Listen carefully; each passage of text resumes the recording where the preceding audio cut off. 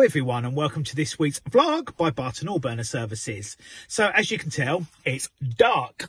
We are getting into the winter now by the looks of it. It's a bit chillier than normal. It's 7.30 and it's raining. So really frustrating, but it is what it is. I've got a bit behind on a boiler installation today, so I've ended up at this job about an hour and a half behind time.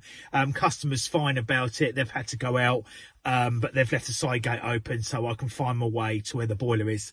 And this week I'm doing uh, something different, a swimming pool boiler. It's a Certikin COH 110 boiler and I'm going to give it a full service, good old clean and check it. And then I'm going to shut it down for the winter and put some winterizer in the pool for them. The reason it's best to do it this time of year is because if you leave the sulphur, in the pool a boiler all winter, what happens is it corrodes away the boiler where it gets damp. So give it a clean, give it a service, set it up, make sure it's okay, shut it down for the winter. And then what they normally do is call me sort of April time, and then I just come along, make sure the pressure's back in the boiler, fire up, and just double check it's all okay, and away we go again. So that's what I'm going to be doing. So enough of me talking, let's crack on with the vlog, hey? Gone through the side gate, it's a bit dark, so I'm a little bit, oh, it's not dark, they've left a light on out here actually, which is good. Oh, another light's come on, brilliant. And, uh, well, there's the pool. So here we go. Oh, it even looks like I left the light on inside. Oh, it's undone, brilliant. And there it is, one Certikin boiler. So I'm just going to go get some tools in. As you can see, it's got the bitumen style flue followed by the insulated flue there that goes through the roof. So that's absolutely fine there. I can see there's a bit of dust there. I think it's, oh, it's coming from there, look. So I just need to reseal that joint. Um, the problem with pool boilers is you have a bit of um, chlorine in the air and it does tend to do stuff in a little bit. Um, so that's gone onto there. What we've got down here, I've got two pipes. These are the flow in and out from the boiler. I can see this one's been changed at some point. So I'll just check these for leaks. And as you see, there's no leaks there. And I'm looking at the back and it looks like it's been, by the looks of it, sealed at some point. Let me have a feel around there. Yeah, there's no leaks around there. So I'll just go and get some tools if we're wondering why it's got a bit brighter in here, um, when I do jobs and it's dark at night, I tend to use this. I don't even see that. It's like a DeWalt floodlight. It's an amazing bit of gear and it just gives that extra bit of light because it's a bit dark in there. So I can investigate stuff a little bit better. Um, it's a bit cramped in here. Also, we're going to here. I'm just going to check in here. So this is the pool room. So here you've got the pump. Obviously just there, which looks fairly new. You've got the filter there you can see the water's quite clean because it's as clear as a bell in there. Um, this is the multifunction part there. That means you can go to waste, recirculate stuff like that. Transform from the light. The pipes go through there, just pop through there. I can see there's no physical leaks. There's a filter inside here as well. See it's crystal clear. When I've finished, I'm just going to go to waste and I'm going to drain the pool down slightly um, to about halfway if I put the winterizer in as well. And then I can shut the system down and drain it for the year. Uh, I'm not going to go into that too deeply because obviously this is about servicing a boiler, not so much the pool. But yeah, I'll just show you the basics while I'm at it as well. I have my tools. Now, I haven't gone mad. I haven't brought my whole toolbox down here because it's a long way down the garden. So I've just brought the basics. Spanner set, socket set, screwdriver set, rag, tissue, gloves, adjustable, scraper, most important thing, hoover, and uh, yeah, of course the Allen keys. So here we go, one boiler. The first thing we need to do is pop the front off. So we literally get hold of it at the bottom and it should just come off. Voila. I'll just put that out of the way. We're just a bit tight here, so bear with me. Okay, so here we go. Now, the first thing is an expansion vessel on here. It was only changed in May 2019. I've noticed the pressure is down as well on here. Now, what you have to watch with Certikin boilers is when the pressure's down, you only need to really pump up to half a bar because when they get hot, you've only got the expansion of this and it go up to 1 to 1.5 bar normally and it runs fine. Because you've got nothing of this, Certikin boilers, they can do heating and stuff like that. In here, this does the pool only. So the expansion is for the boiler only and basically you're doing that, the Bowman unit. Okay, and then you've got your normal heat exchanger there, your burner at the bottom, pressure relief valve. And to pressurise this system, it's just on a hose because you have to do it once a year when you drain it and when you fill it, that's the time you do it. And that's it. It's as simple as that. So if people aren't familiar with Certikin boilers, obviously you've got the flame like normal, it heats the water up. You've got your circulating pump there, which gets turned on via the sensor up there. Motorised valve, boom, turns it on, fires up the pump, and then it circulates around this, puts the heat through the Bowman unit. And it's very, very intense heat goes through that all the time. And then what happens is the heat is taken out by the flow and the return pipes. And then obviously that slowly heats the pool. In this case, um, normally I think the customer has it about 85 to 86 degrees Fahrenheit, that is, which is quite warm. So they're nice and toasty. Okay, so we're not going to go mad. I've, I've got it all turned off at the moment. Okay, I'll start stripping it down. What you may notice is it's a bit corroded. It gets cleaned every time, but it's a bit corroded down there. This is typical of a pool boiler, okay? You've just got in the air the chlorine, so you have to be really careful. It is a shed, as you can clearly see. I've still got a sheet down because the sulphur you can get on the floor still, and you're protecting yourself because of this chlorine that's in the air. So we're just going to pop the top off. off it comes. And what I see again straight away, which you get underneath this, the fast vent's gone peppy.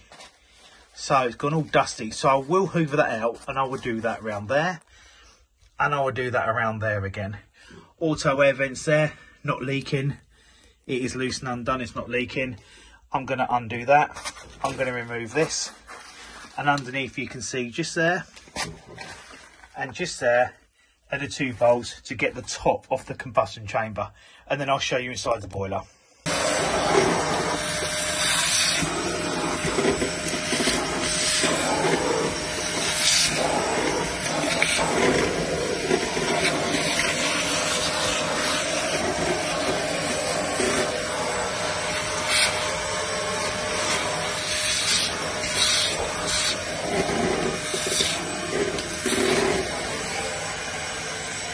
I've hoovered that off now, and as you can see, it's actually hard underneath. So I don't actually need to do anything. It was just flaking on the top. And actually in here, it's actually solid. So it's actually better than I thought. So actually, I think I will leave that. Okay, so we're just going to undo the 213s. There's sort of a funny captive nut underneath, so what you can't do is you cannot over tighten them when you put them back again, because one, can snap really easy, and number two, which is really hard to show here, the lid that's here sort of can bow. That's what happens, so you mustn't over tighten them because it's just literally a tiny little bit in there. So you have to be really, really careful when you tighten them up.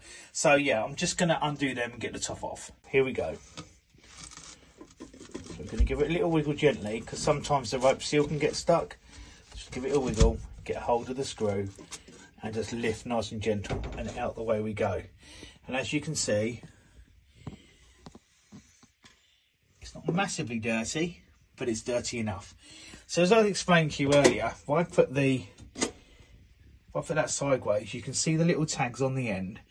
If you do them up too tight, they can bend. Okay, so what you can't do, there's one there, look. What you can't do is over tighten it. I'm just going to turn it over.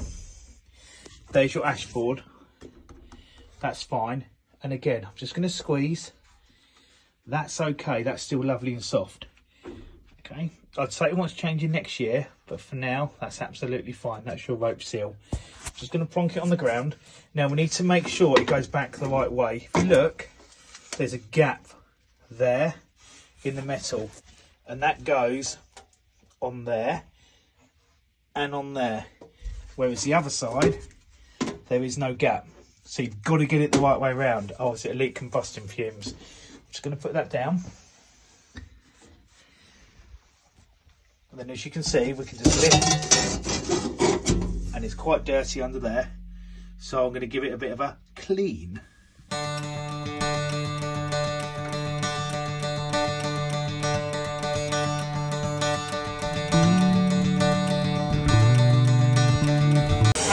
see, there's quite a bit of dirt in this here. Quite a lot. And it's not uncommon for a Certikin boiler. You've got to think it works so hard to warm the pool up. So you have to send a lot of time to clean these properly. As you can see, there's quite a bit there, look.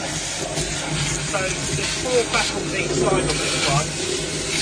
And then you've got to clean the side and you've got to hoover the bottom out correctly as well. And don't forget the bit in the middle here was a really good scrape as well. You don't watch me do all that, we'll just speed things up a little bit.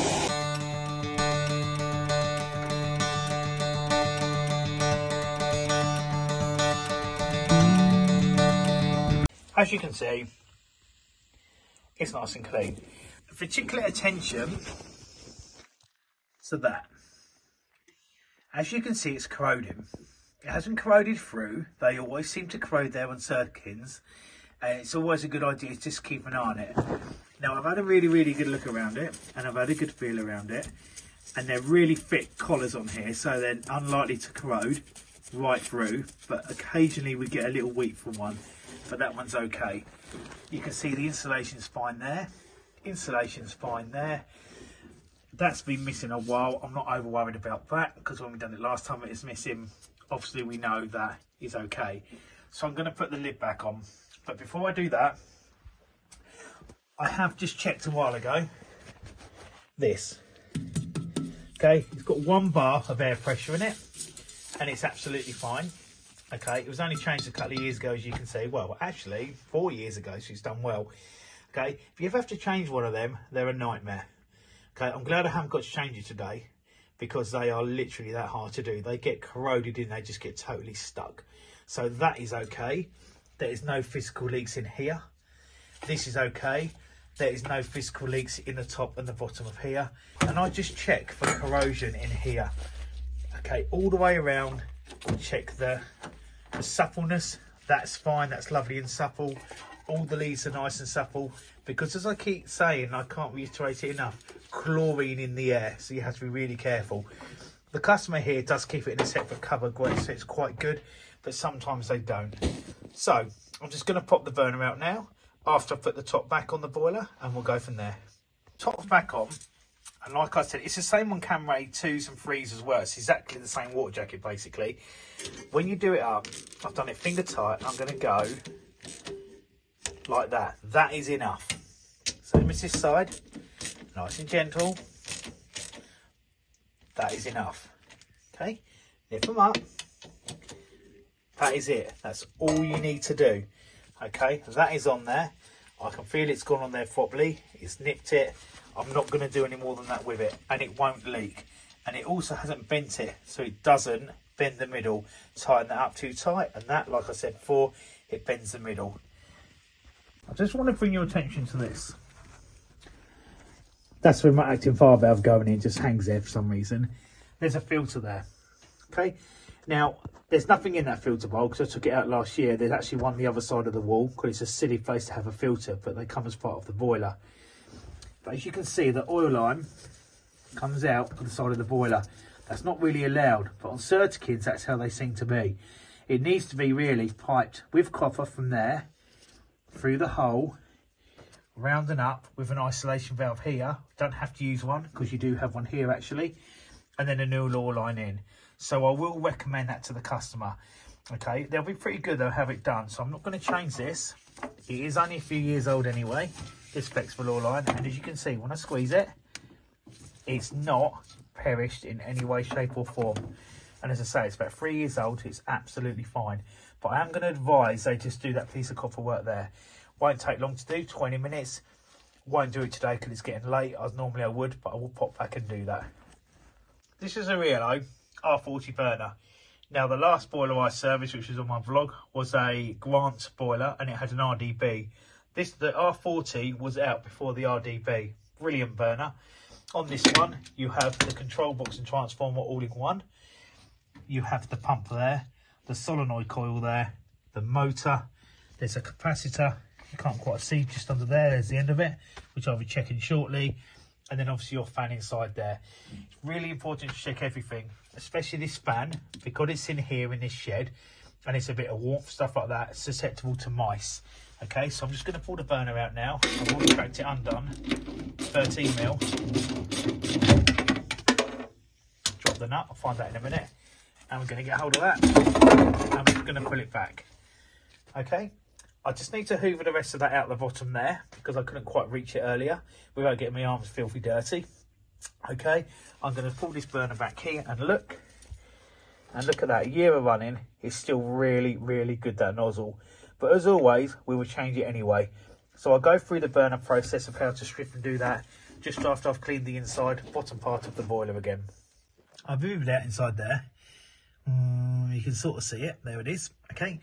So I've wiped the bottom of the boiler quickly. It's stained. You're not going to do anything about that. But I do look underneath. Can't see a lot there. Look, a bit commoded. The reason I look underneath is for like mice, mouse nests, stuff like that. Sometimes find droppings in the bottom of the boiler. And yeah, they do an outside version of this as well. Well, this is in or outside. And obviously I find mice everywhere, mouse droppings, nests, stuff like that. So I always have a really, really good look. But in this case, there isn't any. That's really good news. Um, if you get a mouse going, the air intake shuts the boiler off. It's a nightmare. So yeah, I'm really happy. This is sound, good inside, no leaks, just a burner to do. Um, I've just popped to the tank. Uh, no point in videoing that. It's raining outside. It's a bit in a bush. It's not to regulation. I would advise the customer with that, with a CD 14 form. Um, I've done the filter outside, done the one on the other side of the building. Job done. Okay, so we're just down to the burner. It's getting on towards nine o'clock now. So, uh, yeah, I'm going to crack on a little bit now. So I mentioned to you earlier, I've isolated the boiler. The plug goes up there, out it comes, so it's all isolated. Okay, end cheek. So on the RDB, which I've done before, you have to take like um, an end cheek off followed by another bit. On this one, it's just the three screws. So I had someone recording me last time, but this time I'm doing this by myself. So there's one, two, and three. We're going to just pop them out. Okay, I'm going to lift this off. I'm going to turn it over. The first thing we noticed is this is clean, just corroded. Now, what we do at Barton Oil Burner Services that we've done before, and it's my dad's done it, my boys do it, and me, as a joke, we write in the lids to each other. So this one is, it was rebuilt, this burner, the 10th of the 5th, 2019, by Grandad. That's my dad, the boy's granddad, with a smiley face. It makes us smile. It's very warm when we read this about each other, and it's excellent, and we ride it on a lot.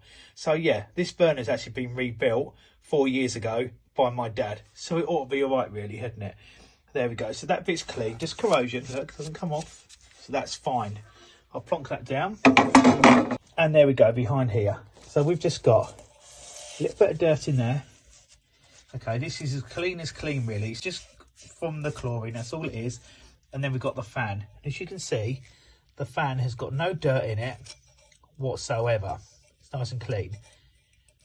I'm still going to get a brush to it and I'm going to go through all these one at a time, give them a little scrape and a little clean and a hoover and then I can put it together again. Then we know it's fine. The good news is, like I was saying earlier, we get mice that get caught in these here sometimes. Okay, as you can see, there's nothing. Just needs cleaning, and I'll put it back together again. So I'm putting it back together. When you put these screws in, you've got to think it's a steel screw, stainless steel screw, into an aluminium body. Do not over tighten them. If you do, you never get them out again. So just very gently nip. Get the screwdriver on it. Again, nip. And the final one,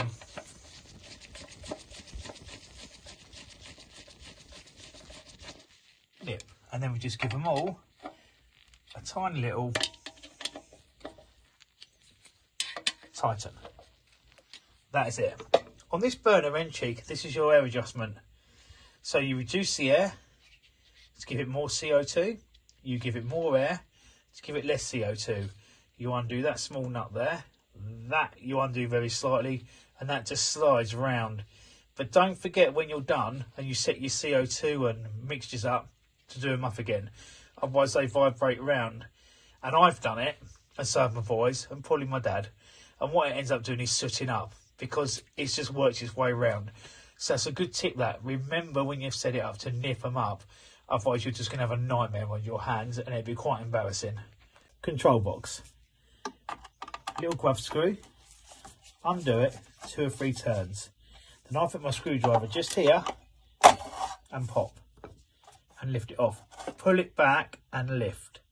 Okay, pull it back and lift. There's your reset button. When we turn it over, that tiny little white lump there is your light photocell.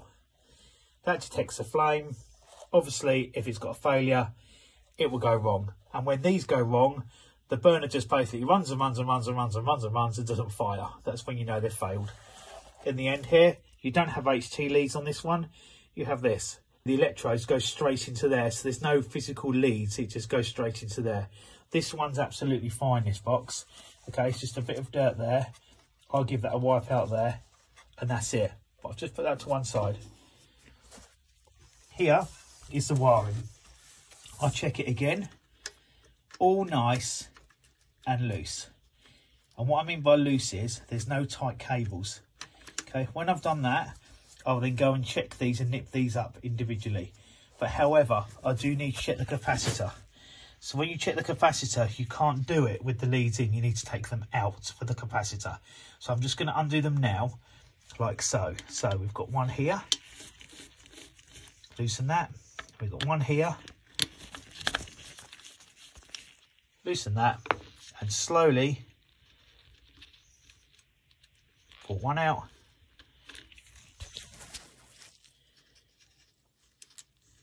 And pull two out. And we just need to check it with the meter. As you can see, I've only got 2.664. This is a 4 UF capacitor, so it's just getting a little bit down on power. Okay, not very good light there, but there it is there, look. So what I'm going to do is, I'm not going to take any chances, because these boilers work so hard, when it comes to starting it up on a cold day, i.e. this spring when they want to fire it up again, it's not going to go very well. It's just a little bit underpowered. Uh, 1.4 ohms down, or uh, UF microfarads down even. So I'm just going to go get another one off the BAM, and we'll be fitting a new one. Okay, so to change it, basically, there's your capacitor. We pull the leads out. So I've just disconnected them. One.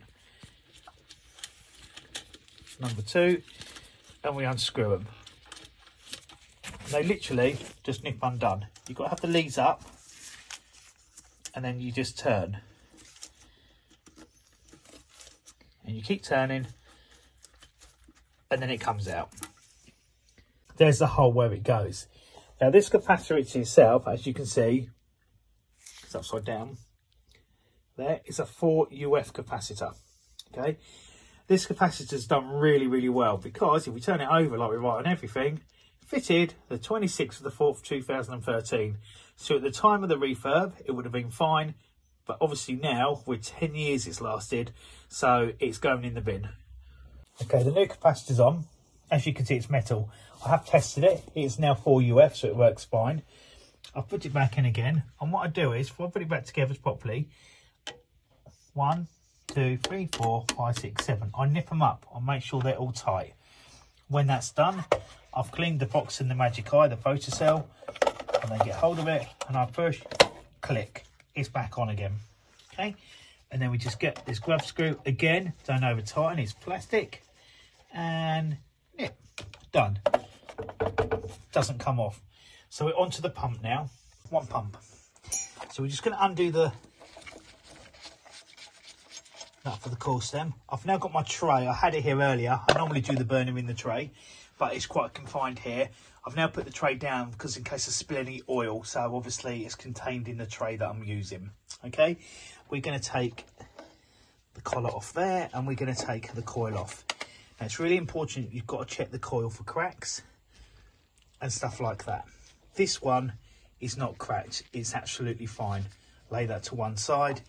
And now we're gonna undo the three Allen, one, two, and one round the back. We're gonna undo them three Allen keys. Okay, so here we go. One,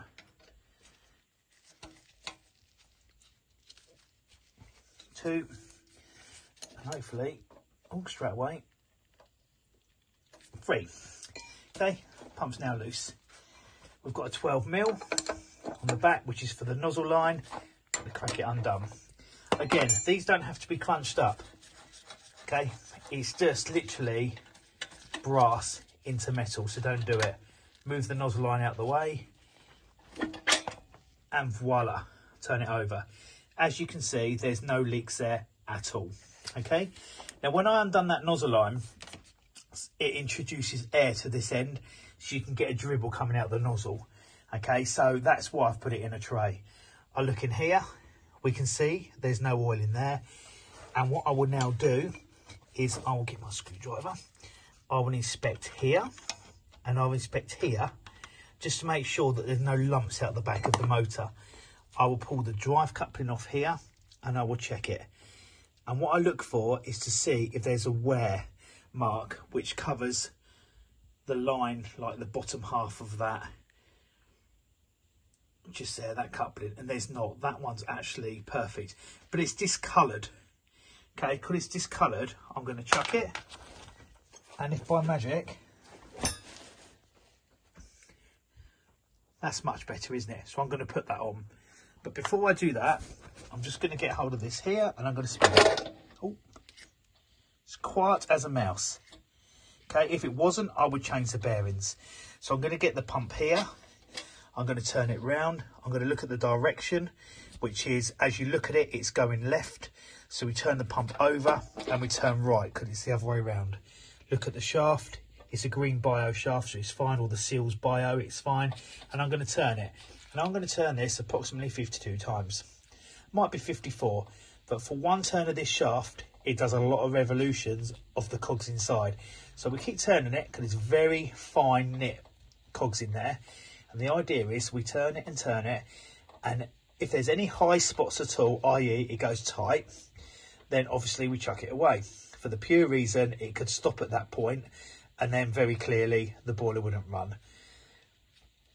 So I'm going to do that a few more times just in a second and I will check that and make sure it's okay. So the customer's just come home and actually said there was intermittent lockouts on it, which she didn't tell me originally, which is great. So that will be that capacitor that I explained to you. And the most important thing is I've been given coffee. I love coffee. Love it. I'm so pleased about that. So I'm going to turn this shaft about another 30 times and I'm going to put it back together and then we can go from there. Pump's back on. Just want to bring your attention to the nut on the top for the coil, okay? Do not over tighten it. If you over tighten it, let me take it off again. What it does, it pulls on this shaft. And if you look, there's a seal just under there. Okay, and that seal will then start to leak. And it's a really common fault. Over tighten it, it leaks. So you put it on, click it in place. You then put the next bit on. And then you do it up. You can't leave it loose because it will rattle and vibrate. But as you do it up, as it goes tight, ding, that is it. No more. If you do any more, you'll get a leak on an older pump. And you don't want to be doing that. So, let's have a quick recap. We know that the fan is okay. It's clean, no mice, no anything at all. Capacitor was down on power. We've changed it. Control box was okay. And also I've tightened all the nuts inside where the wires were. We've turned the pump 52, 54 times, the correct direction, no high spots. We've done the coil. We've checked the flexible oil line. We've checked the motor, the back of the motor, is fine. We've cleaned inside through the top, we've cleaned through the bottom, we've cleaned the bottom, we've checked for things like mice nests, leaks, stuff like that, none. Oil line checked, no leaks, just down to the nozzle now. Just going to bring your attention to this PTFE. I've just moved it. There is a rubber O-ring under here, but because it's a Certikin boiler and the corrosion we get, we put some extra PTFE around there. It's not bodgy like people think, it's so it fits in snug and tight to stop any gases escaping by, and that's why we do it. So I'm going to take this blast tube off now. I'm going to clean around here, and I'm going to clean all in here, and then I'm going to get back to you. Blast tube off and clean. So here we have the electrodes and the nozzle. So we're just going to undo the electrodes now. Again, we just nip it undone. and we lift them off like so out the way. But we are first going to inspect them. These are plastic ones. They're not split. The ends are still sharp and they're exactly like they should be. So we're happy with them. There is the nozzle, quite clean, and there's the nozzle holder. So what we do, like I said in my previous video, is I always get a bit of emery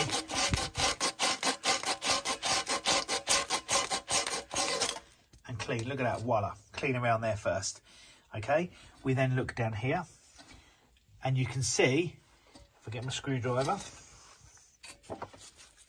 as I said earlier, there's no leads. There's the bits on the control box down there. Okay, and just there lurking as well Ooh, I don't know if you can quite see it there, just down there where my screwdriver is, is the light cell that detects the flame. So I'm just going to change the nozzle, crack the nozzle under, undo it, and I'm going to look. You can see it's a little bit dirty behind there. There was a bit of dirt in the filter, nothing much. And then I'm going to wipe it. Now, I've just wiped that onto my hand, as you can see there. It doesn't look filthy dirty, and it doesn't look like there's water in there either. That's how I check. So that's fine. So we're going to stick a new one in. We're going to put the blast tube back on. We're then going to renew this once we've set the electrodes up. And when we push these electrodes back in here like so, okay, like that, that part will sit just slightly proud of the front of the nozzle. Okay, so it's an exact set gap which I will set. Not going to go into too much detail. Like I've said to people in previous videos, this isn't for people to do it DIY. This is to give you an overview. There is also other bits I'm doing, but I'm just not going to show you them. This is the basics of what you do on a, if it's on a Certikin. So I'm just going to do these bits, plonk the burner back in, and I'll be back.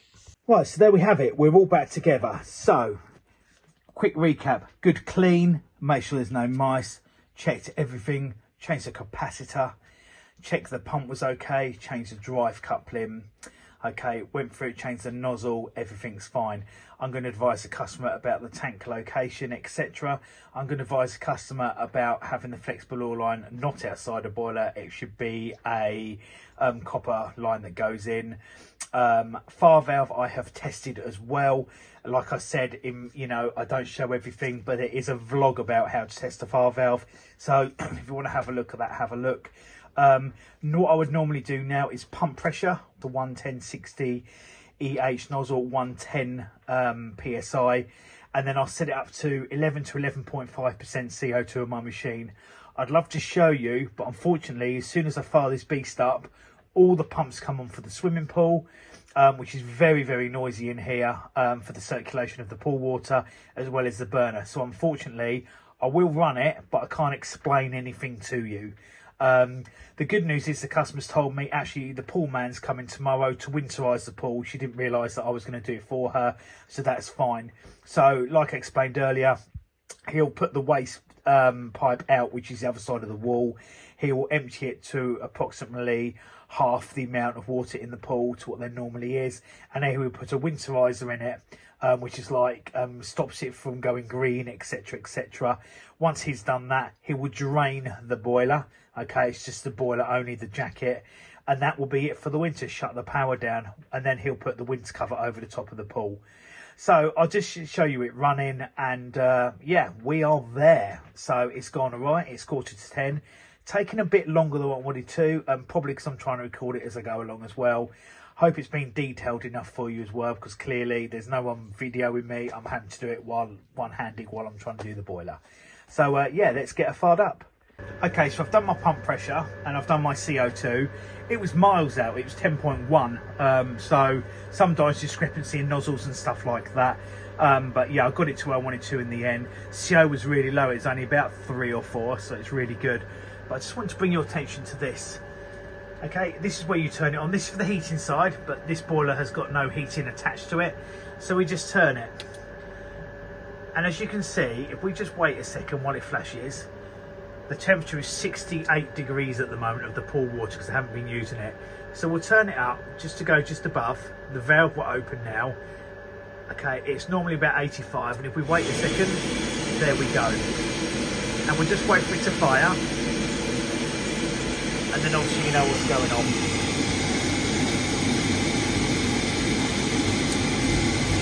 There we go, lovely and quiet. So on this model, um, yeah, it's very, very powerful. You can see just there, the little so it's absolutely lovely, exactly like want it to be. Okay, so that is it. I'm just going to clear up, put the casing on. Let's turn that off. It's noisy. Put the casing on, have a really good clear up, tidy up, and then uh, speak to the customer about the things that need doing. And uh, yeah, jump back into my van.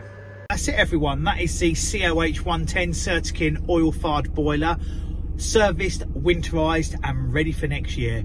So like I explained earlier, um, the pool guy's coming tomorrow just to winterize the other side of the pool, which we quite often do for the customer, but this time I think the pool man's doing it. And uh, yeah, we'll get to the spring. I have spoke to the customer. I'll do that small piece of oil line work for them um, when we refire the boiler. The oil is also now turned off to the boiler, so clearly there's no chance of spillage, leakage, anything like that um, if it was to corrode through the line, which is very unlikely to anyway. Uh, we do obviously do school pool boilers as well quite often. Uh, with them, they're slightly different. We do give them a clean and do exactly the same as what I've just shown you. However, quite often they're in really damp sheds um, right in the back of the school by the um, pool itself. So we actually take them burners off and take them away um, because they're bigger. And then what happens is the natural draft goes through the boiler up out the chimney and then it just creates a nice airflow through it. Because we find that if we leave the burners in over the winter, we can't get them out. They just corrode in because of all the chlorine and that. And as much as we tell people at schools to keep the chlorine away, unfortunately they don't. So anyway, really happy customer. I'm really happy. Bit later, just after 10 o'clock at night. Um, not gonna really have much to eat when I get home, so uh, I might just grab a Chinese. Anyway, until next time, everybody, have a really good rest of your weekend. Stay safe.